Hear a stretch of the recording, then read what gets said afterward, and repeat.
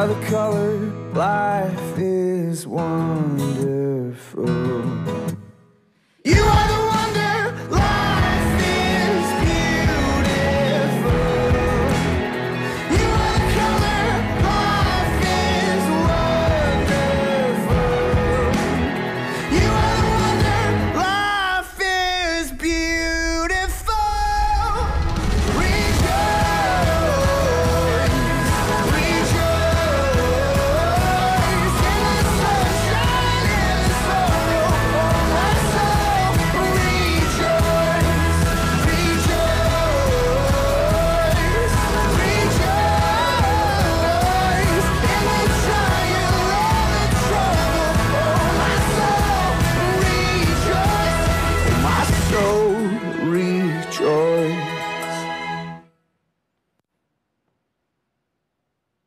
And so, welcome once again to Amazing Love. Thank you for being here. Uh, would you pray with me? Let's ask God to bless the preaching of the word.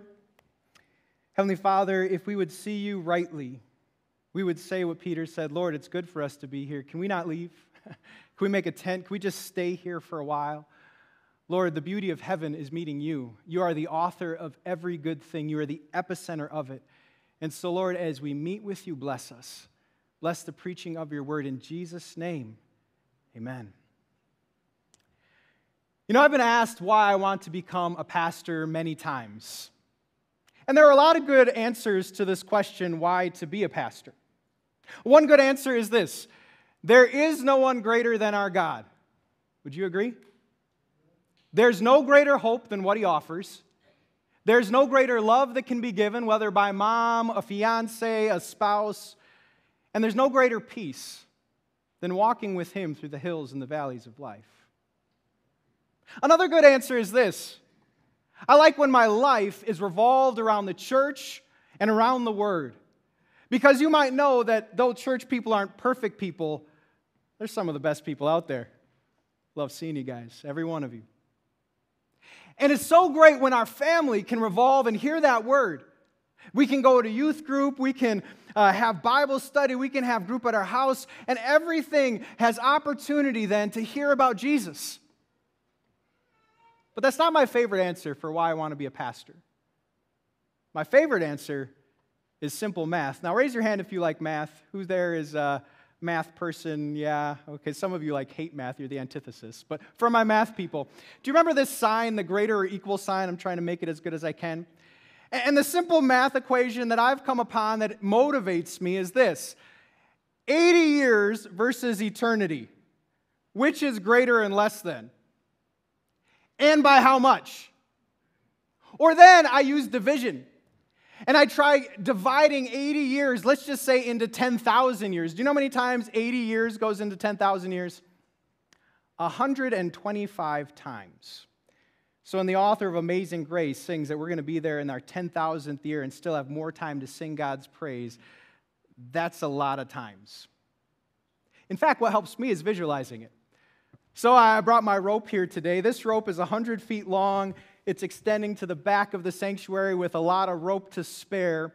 If this rope is the equivalent of 10,000 years, and if I did my math correctly, which I double and triple checked, I think I did, if this rope is 10,000 years, this little black part is 83. This is 83 years, and you can, you can look at how far it goes out. This is 83 years. And so right here, if I pinch is your childhood and adolescence, maybe I can pinch a little bit more for your career. And then at the very end, I don't even know if we're going to get there, but that retirement, like, I don't even, I can't pinch that little, right? And it's interesting as I consider, you know, my life right now, 2012, or 2022, excuse me. Do you wish it was 2012? Is that a Freudian slip? Maybe. Anyway, uh, will I even remember this year? What will I remember about this year? In fact, what will be known, remembered, and matter if this is the case? The reason I think this way is because a psalmist named Moses said we should think this way. In Psalm chapter 90, he said this Teach us to number our days aright, that we may gain a heart of wisdom. In that same psalm, he said that we might live 70 or 80 years. In that same psalm, he compared us to the grass that is up one day and gone the next. And some of you have mowed the lawn this year. Do you remember the, the grass blades from May? Anyone like keep them and look at them like, oh, that was a great grass blade? Probably not. That's you and me. That's our lives in view of eternity. And, and, so, what we learn is that we are what the Bible says we are a vapor, we are a mist, we are a shadow. We're just not here long. And so, because of that, what will re- be remembered and what will matter? Now, to chase after that truth, I want you to do something with me. I want you to imagine you're at the end of this rope and you're at your 10,000th year in eternity. Now, by the way, if you're new to Christ, what I love to share with you is that eternity is a gift through Jesus Christ. It's not about good and bad people. It's simply about people who are faith filled, who have clung to Jesus Christ and have faith in him. So let's say we're in the 10,000th year of eternity. You have just lived 125 lifetimes, and you are reflecting on how you use this. What will you remember? Will you remember what you ate for lunch today? Probably not. Will you remember if the Bears were good in 2022? Will you remember what the fashion was, how much was in your bank account? Will you remember all of your neighbors and all of your coworkers and all of your acquaintances? What will you remember? Probably a better question. What's going to matter? Will it matter if the Bears move from Soldier Field to Arlington Heights? Will it matter who the next governor, the next president is?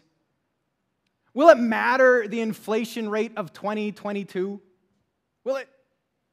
When I do this exercise, um, I don't know if I'll remember my Priuses, but I'm, I'm pretty sure they won't matter. Um, I, am pretty sure it won't matter what house I lived in and what the wall colors looked like, what the paint colors were. I'm pretty sure it's not going to matter that I was on the Price Is Right and I won a bedroom set and I'm pretty famous. Like, I think that'll fade away by then. But, but what I do think will matter these moments. What I do think will matter loving people because Jesus loves them.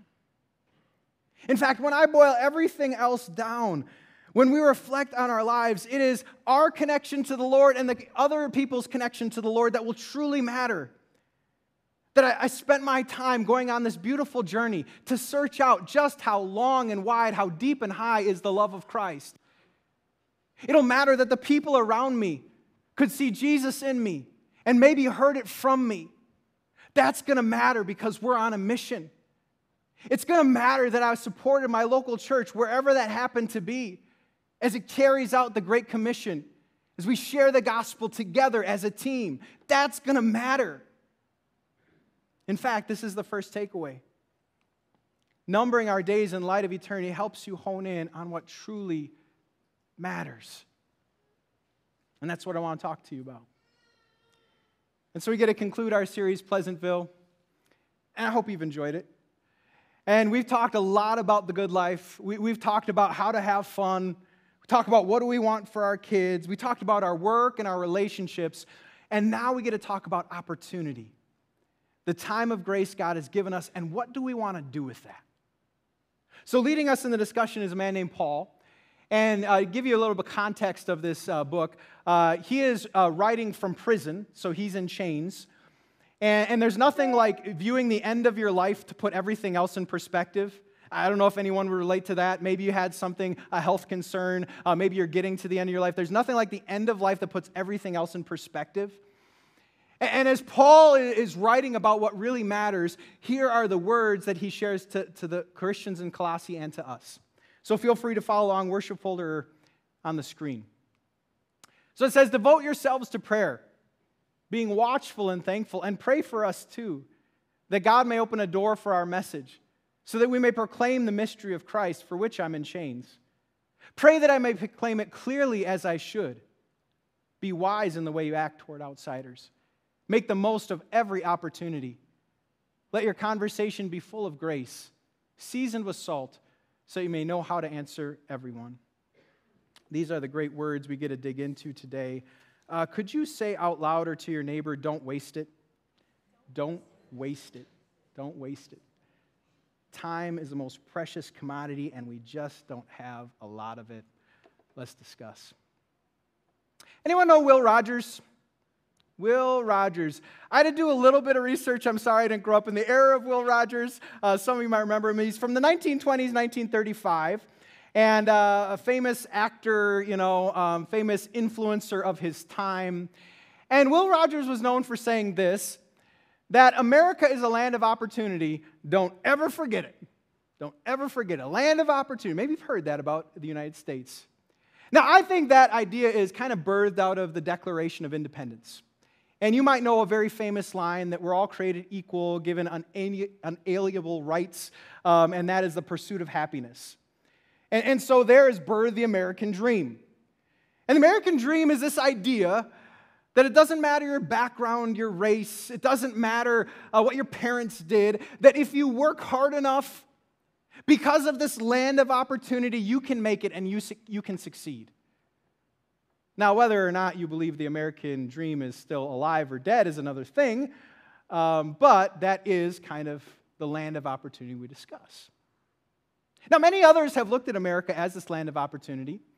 I don't know if you've ever done research of those trying to come to America.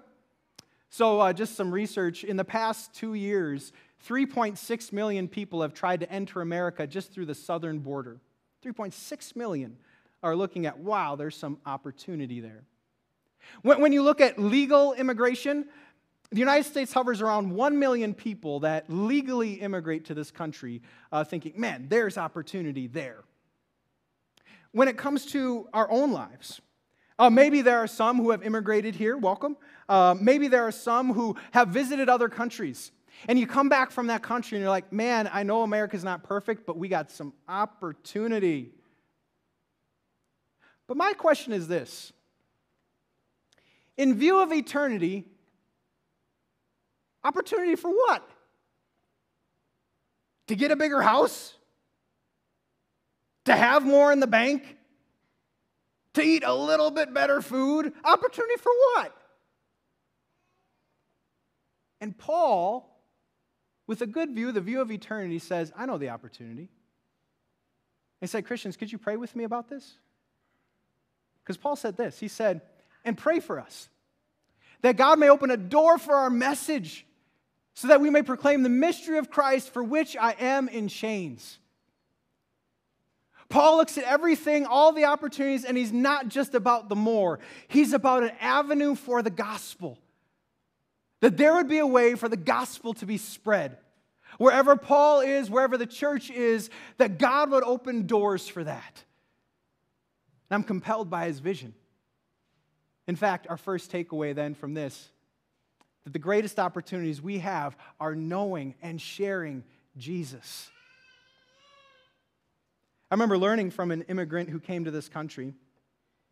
About 10 years ago, um, there was a conference, and he was talking about why he moved from Australia to the United States. He came here to work, live, and pastor. And part of the reason he chose here is he believed that this is still the epicenter of God's activity in the world. He believed that the opportunity to share the gospel was ripe right here. But this was about 10 years ago. And even 10 years ago, he said that Americans' church, uh, the, the, the state of things, is kind of like a sleeping giant. Yes, there are a lot who profess Jesus, but man, are they sleeping. And so he wrote this book, compelled by this passage from Habakkuk. And in Habakkuk, it says, Lord, I've heard of your fame, and I stand in awe of your deeds. Repeat them in our day. In our time, make them known. In wrath, remember mercy. And so he called upon the Lord who splits the Red Sea and raises the dead. He called upon the Lord who has the gospel cloud, which Luther referred to, this gospel cloud that stays in one place and then moves to another place. And he said, Lord, let's have that gospel here. Create revival among us, that the gospel might be retained in us. And even though I don't know what God will do, I share the same dream, do you? That God would do his greatest work in us in this lifetime, right now. I have this dream that as the world gets darker, and it is, The gospel would shine brighter, and it can.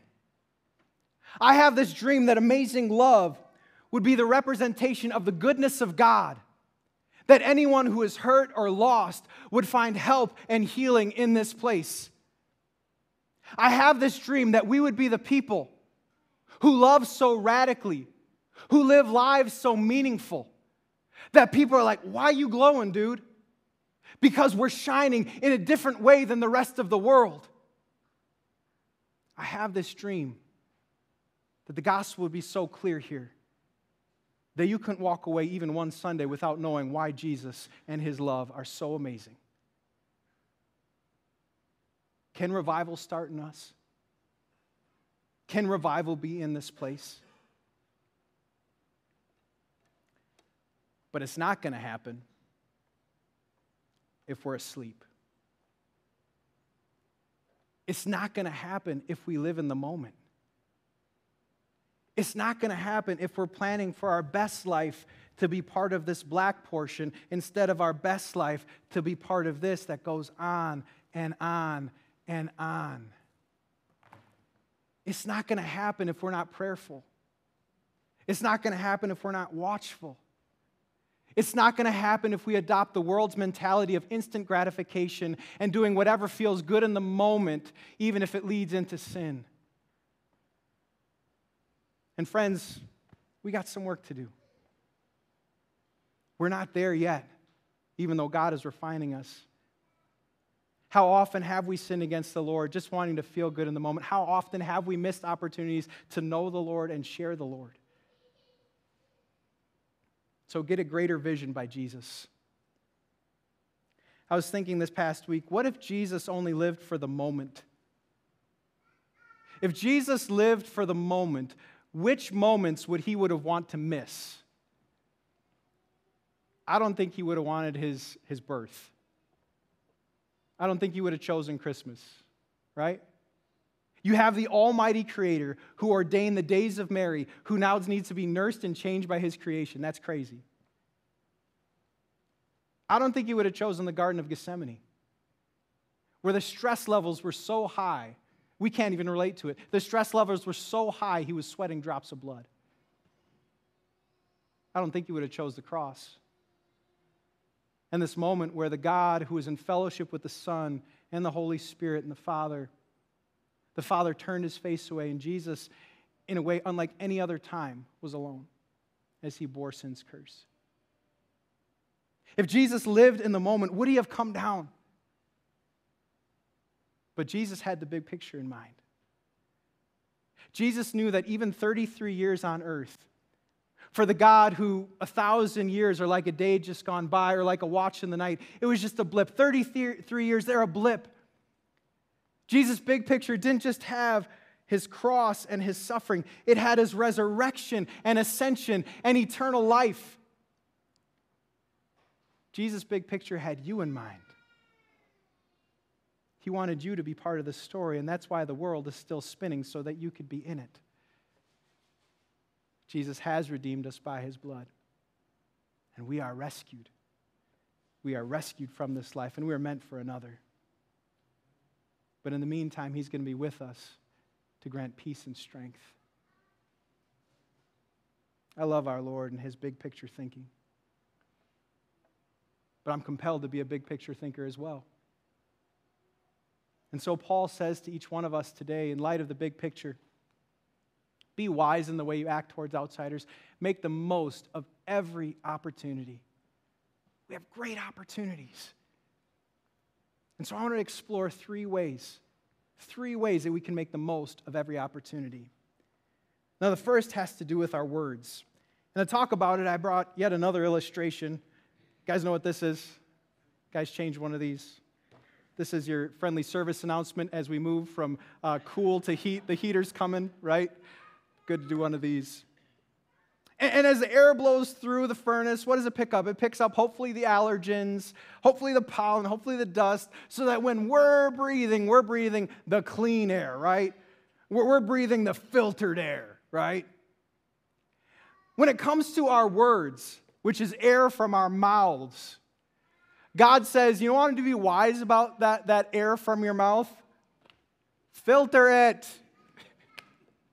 Not everything in your head needs to be said, right? If you are known for talking, I have a warning for you. You're on dangerous ground. In fact, one of the proverbs that has always stuck with me is this When words are many, sin never stops.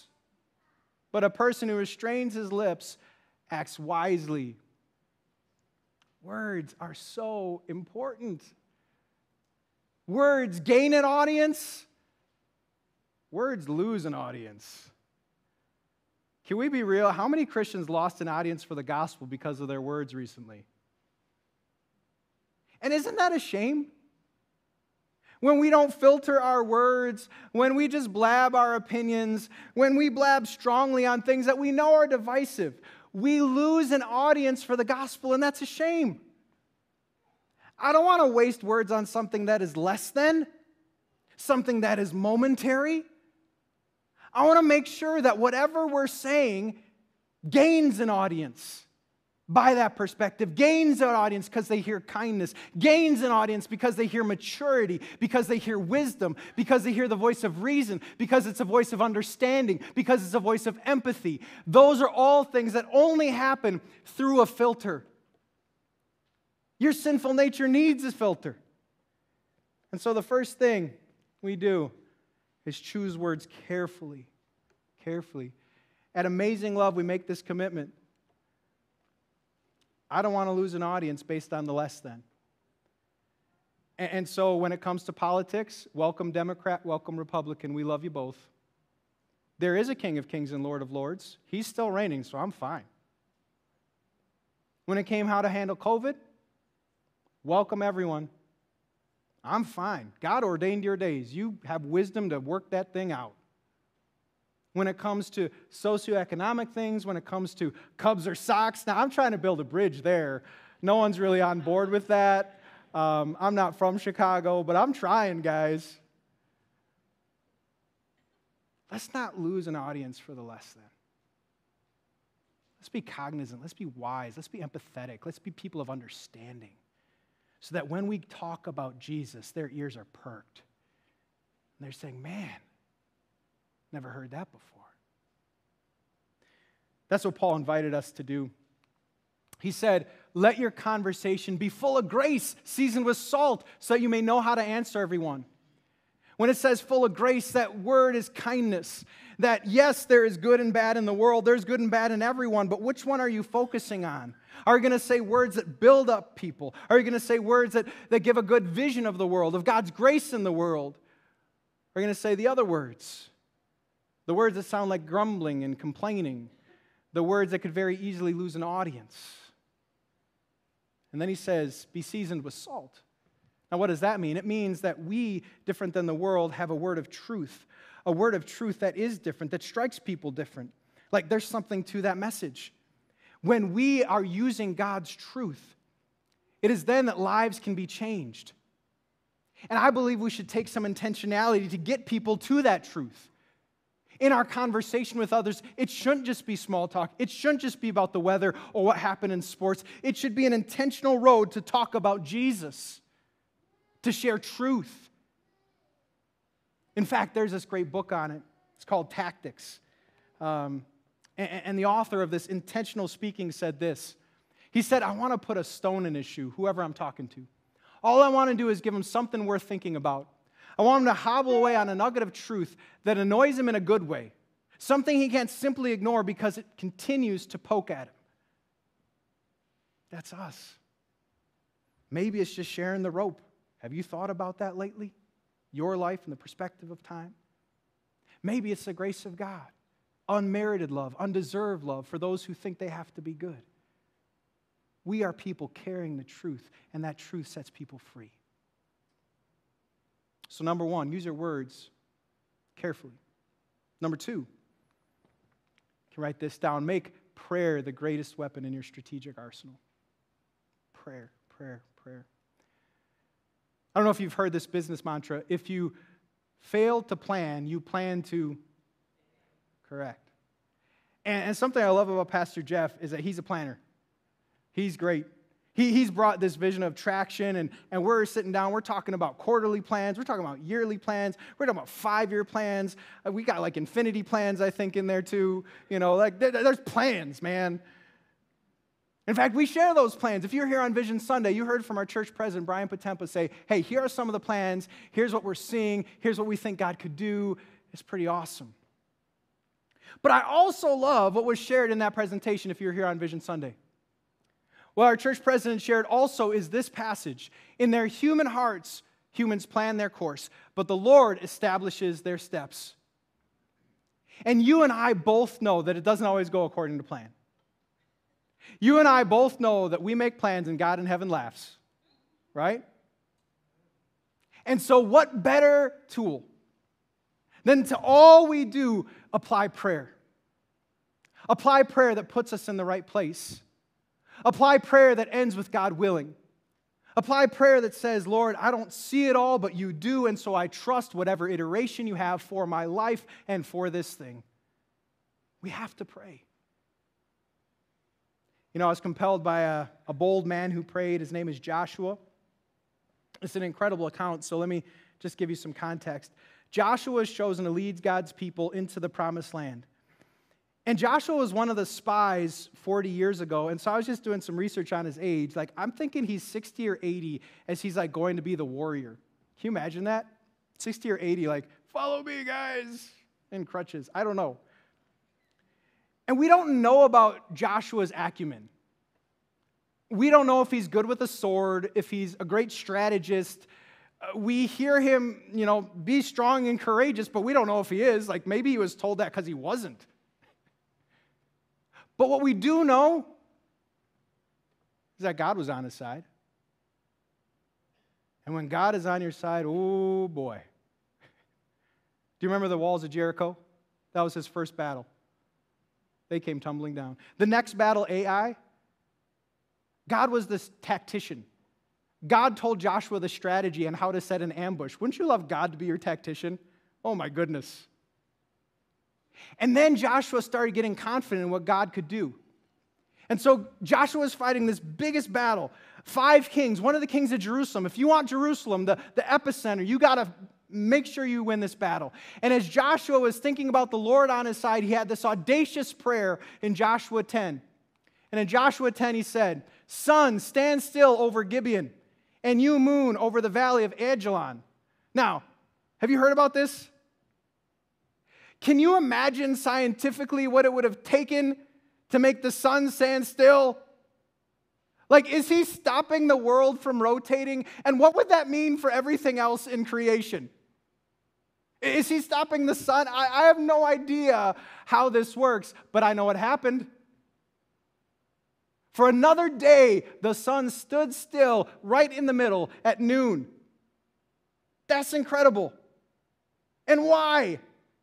He could have fought at night. It's because he prayed. And then the capstone on this there's never been a day like it before or since, a day when the Lord listened to a human being. Surely the Lord was fighting for Israel. The Lord listens to us. You know why? Because you have a mediator named Jesus Christ. And there is no prayer that goes unanswered, there is no concern that he doesn't hear. And so when we turn to God in prayer, maybe it's when others notice, I have no idea how that worked out for you. Man, you must have something I don't. And we do. You and I have the Lord who fights for us. Choose your words carefully. Use prayer as your most powerful weapon. And now, the last thing watch out that you don't waste your moments. See, God calls us to be watchful, to be ready, to be alert. That if our lives are so short and if we don't know when God is coming, we need to be ready at all times. In fact, if you know his end times teaching, his end time teaching gives us warnings aplenty about not being ready. There's this parable about 10 people waiting for a bridegroom to come uh, for this eternal celebration, a picture of heaven.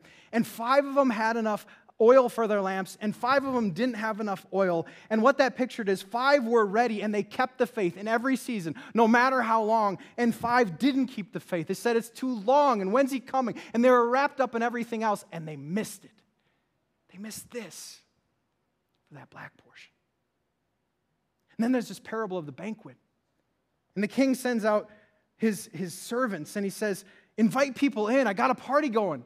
And that party is heaven. That party is an eternal celebration. And yet, what they're saying is what we say all the time between knowing and sharing the Lord. They're saying, No, but I got work. I got the land. It's a harvest. I got romance. I just got married. I got a hobby. I got oxen. Got a car. Because of all these reasons, they missed it. Parable of the talent. What did the guy with the one do? He says, Oh, it's not going to matter. It's not going to matter, right? Not going to matter. It mattered. It mattered when the Lord showed up. So, you and I, let's not waste our moments. Let's get to heaven, that 10,000th year, and stack up these moments where I journeyed with the Lord in the hills and valleys of life. Stack up these relationships where I shared the Lord, sometimes with my words and sometimes not, just how I acted. Your homework for today is this to seize opportunities for the gospel using words, prayer, and watchfulness this week. Let's not waste our mere moments. Let's use them on purpose. God has ordained all your days and given you this time of grace for a reason. Let's pray together. Heavenly Father, it is so easy to forget this. It is so easy for Monday morning to bring us back into the world and, and wrap us in so many less than things. Lord, not everything matters, and not everything will be remembered, but you matter. Help us to dedicate our lives to you, to sharing you and knowing you, and give us the power of the Holy Spirit to make that happen. In Jesus' name, amen. And the peace of God, which transcends our understanding, may guard your hearts and minds through faith in Christ Jesus. Amen. Hey, at this time, we have the opportunity to share our faith. Uh, today, we'll use the words of the Nicene Creed. Uh, feel free to join with me if you're comfortable. We believe in one God, the Father, the Almighty, maker of heaven and earth, of all that is seen and unseen. We believe in one Lord, Jesus Christ, the only Son of God, eternally begotten of the Father, God from God, light from light, true God from true God, begotten, not made of one being with the Father. Through him all things were made. For us and for our salvation, he came down from heaven, was incarnate of the Holy Spirit and the Virgin Mary, and became fully human. For our sake, he was crucified under Pontius Pilate. He suffered death and was buried. On the third day, he rose again, in accordance with the Scriptures. He ascended into heaven and is seated at the right hand of the Father.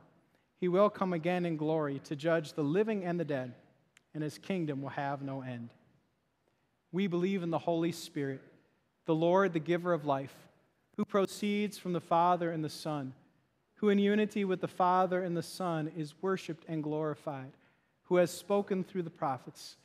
We believe in one holy Christian and apostolic church. We acknowledge one baptism for the forgiveness of sins. We look for the resurrection of the dead and the life of the world to come. Amen. All right, a few announcements. And as we do that, uh, we will be collecting those uh, blue connection cards. Uh, so feel free to uh, give them to uh, those walking and collecting. Um, with that, uh, our children's choir. I'm so excited when we can expand. That's awesome. we have a children's choir that's coming up. the inserts are in your worship folder about it. Um, so feel free, if you have um, a child who'd like to sing praises to Jesus, uh, this is a great opportunity. Uh, along with that, a musicians meeting October 9th. Um, that is in welcome of our new music coordinator, Courtney Supple. Uh, some of you know and remember Courtney. Some of you um, don't remember Courtney, but um, her and, and, her husband, they're just amazing. So uh, hold on, guys. Um, our worship is going to another level. It's going to be awesome. Um, but so excited to have them. Uh, so those are just a, a few announcements feel free to uh, peruse the others. Uh, we also have Bible class right after this, so feel free to go uh, to our fellowship area. And now we turn our attention towards prayer. In our prayers today, we remember uh, Gene, the father of Courtney Supple. Uh, and after this, we're going to join together in the Lord's Prayer. Uh, so I invite you to pray with me. Heavenly Father, I just love your mercy and your compassion. You're the God of all comfort and the Father of compassion. And so, Lord, we pray that you would be with Gene. Continue to heal so that he may recover, that he might enjoy his time of grace here on earth and know your loving goodness. Lord, we also pray for Joe Robertson, uh, that you would be with him, that you would sustain him during the ups and downs of life, that he would stay close to you, and that he'd have loving neighbors surrounding him throughout his life. We pray this in Jesus' name, and now join in the prayer you taught us. Our Father, who art in heaven, hallowed be thy name. Thy kingdom come, thy will be done on earth as it is in heaven. Give us this day our daily bread, and forgive us our trespasses, as we forgive those who trespass against us. And lead us not into temptation, but deliver us from evil. For thine is the kingdom, and the power, and the glory, forever and ever. Amen.